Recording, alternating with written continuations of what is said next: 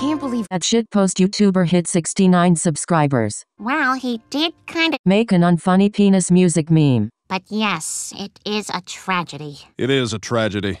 Excuse us. Yeah, we'll be right back.